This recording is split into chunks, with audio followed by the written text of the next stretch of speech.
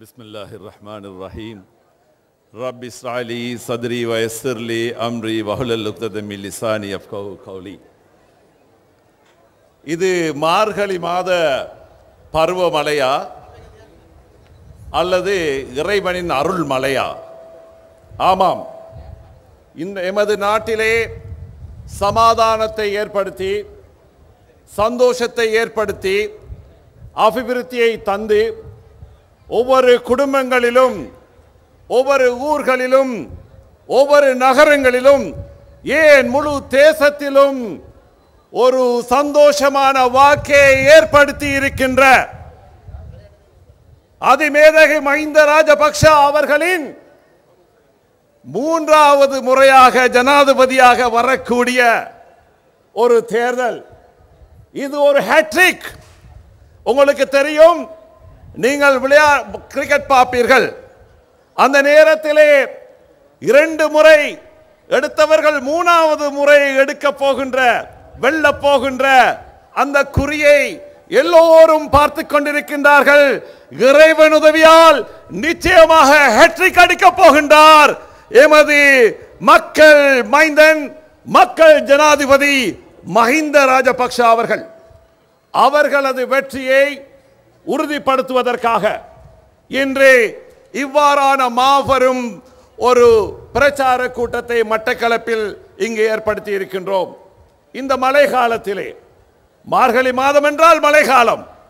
அந்த மலையிலும் ஒரு அருள்மலை அதற்கு அறிகுறி என்னவென்றால் உண்மையிலேயே மஹிந்த ராஜபக்ஷ அவர்கள் உங்களது இறைவன் அருளால் உங்களது ஆசியால் உங்களது ஆதரவால் அவர் வெற்றி அடைய செய்ய இருக்கின்றோம் என்பதுதான் இங்கு வந்திருக்கின்ற என்னுடைய அன்பின் நண்பர் உங்களுக்கு தெரியும் உங்களது பிரபல்யமிக்க எமது மட்டக்களப்பு மாவட்டத்தின் பாராளுமன்ற உறுப்பினரும் எமது மீள்குடி அமைச்சர் எமது சகோதரர் முரளிதரன் அவர்களே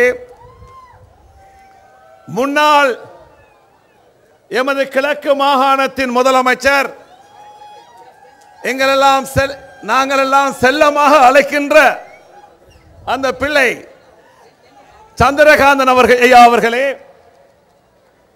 எமது பட்டிருப்பு தொகுதியின் அமைப்பாளர் ஒரு இளம் நட்சத்திரம் சகோதரர் சாணக்கியன் ராசமாணிக்கம் அவர்களே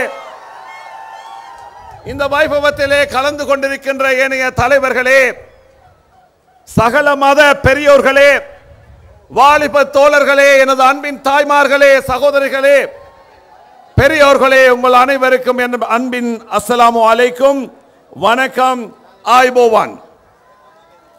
எங்களை பொறுத்தவரையில் எமது மக்கள் சமாதான சகவாழ்வு வாழ வேண்டும் என்பதற்காக நாங்கள் என்றும் மக்களுக்காக மக்கள் சேவை செய்வதற்காக எங்களது அரசாங்கத்துடன் சேர்ந்து நாங்கள் பல தியாகங்களை செய்து வந்து கொண்டிருக்கின்றோம். எங்களை பொறுத்தவரையில் இதுதான் முதல் தடவை. உங்களுக்கு தெரியுமா நான் முன்னொரு காலத்திலே ஐக்கிய தேசிய கட்சியின் ஒரு பாராளுமன்ற உறுப்பினராக ஆயிரத்தி தொள்ளாயிரத்தி தொண்ணூத்தி நாலாம் ஆண்டிலிருந்து ரெண்டாயிரத்தி நாலாம் ஆண்டு வரை இந்த மட்டக்களப்பு மாவட்டத்தின் பாராளுமன்ற உறுப்பினராக இருந்து மிகவும் கஷ்டமான சூழ்நிலைகளிலே சவால்கள் நிறைந்த சூழ்நிலைகளிலே மக்களுக்காக சேவை செய்தவன் எந்தவித சாதி மத பேதமற்ற முறையிலே மக்களது தேவைகளுக்காக என்னிடம் வருபவர்களுக்கெல்லாம் எந்த நேரமும் மறக்காது.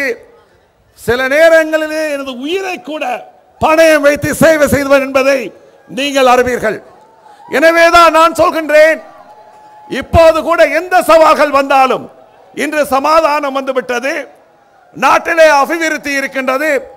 அனைத்து சமூக மக்களும் அனைத்து சமூக மக்களும் இன மத பேதமற்ற முறையிலே அத்தனை மக்களும் சகவாழ்வு வாழ்கின்ற இந்த சூழ்நிலையிலே எமது ஜனாதிபதி அவர்கள் கோடான கோடி ரூபாய்களை எங்கள் உறுப்பினர்களுக்கு தந்து எமது பகுதிகளை அபிவிருத்தி கொண்டிருக்கின்றார்கள்.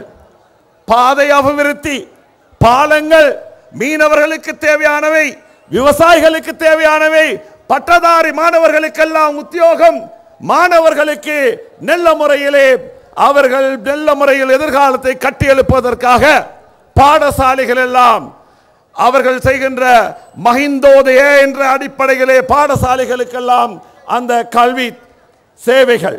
இவ்வாறு நாங்கள் அடுத்து கொண்டே போகலாம் திவிநிகம வாழ்வின் எழுச்சி. பாதை அபிவிருத்திக்காக கமனகம எங்களது உள்ளூராட்சி சபைகளின் எழுச்சிக்காக வேண்டி புறநகும நகர எழுச்சி மக்கள் எழுச்சி குடும்ப எழுச்சி சமுதாய எழுச்சி. இவ்வாறு ஒவ்வொரு வகையிலும் எழுச்சியை ஏற்படுத்தி ஒரு சமாதானமான ஒரு ஸ்திரமான ஒரு நாட்டை இன்று எமது மக்கள் மத்தியிலே ஏற்படுத்தி தந்திருக்கின்றார் மஹிந்த ராஜபக்ஷ அவர்கள். இன்று மைத்திரி ஐயாட நிலைமை ரொம்ப மோசம். ரணில் விக்ரமசிங்கவும் சந்திரிகாவும் அவரை உசுப்பி விட்டு விட்டு இப்ப ரெண்டு பேரும் ஐயோ சந்திரிகா நாளைக்கு நாளை அன்னைக்கு லண்டனுக்கு போப்புறா என்ன மகள் பிரசவம் செய்ய வேண்டும். அம்மா வந்துடு அம்மா. அவர் தோக்க போறாரு. எனக்கு பிரசவ வேதனையாக இருக்குது. அம்மா வந்து விடு என்று சந்திரிகா அம்மா டாடா சொல்லிவிட்டு லண்டன் பறக்க போகின்றார். அதற்குள் எமது ரணில் விக்ரமசிங்க நான் அவருடன் ரொம்ப ப- பக்கத்தில் இருந்து வேலை செய்த நான். அவரை பத்தி எனக்கு தெரியும். எவ்வளவோ அவருக்காக வேண்டி அம்- அம்மானுக்கு தெரியும். எவ்வளவோ எமது பகுதியிலே சமாதானம் வருவதற்காக வேண்டி நாங்கள் செய்த நேரத்திலே அவர் செய்த சமாதான ஒப்பந்தத்தை கூட எதிர்க்கட்சிகள் வந்தவுடன் வேண்டாம் அப்பா நான் ஒத்துழைக்க மாட்டேன் என்று கல்தா கொடுத்தவர் தான் ரணில் விக்ரமசிங்க அவர்கள். வெகு விரைவிலே அவரது எல்லா விஷயங்களையும் புட்டு புட்டு நாம் உலகுக்கு காட்ட இருக்கின்றேன். எல்லா ரகசியங்களும் என்னிடம் இருக்கின்றது. எனவே அன்பார்ந்தவர்களே இன்று ரணில் விக்ரமசிங்கக்கு என்ன பிரச்சனை என்றால் அந்த சரத் பொன்சேகா என்று சொன்னாரே ஜெனரல் அவர்கள் சொல்கிறாராம் இல்லை ரணிலுக்கு கொடுக்க வேண்டாம் சரத் பொன்சேகாவுக்கு பிரதமர் பதவியையும் பாதுகாப்பு அமைச்சையும் கொடுத்து விடுங்கள் என்று. தமிழ் மக்கள் சிறுபான்மையினர் மக்களிட பிரச்சனை அவ்வளவுதான்.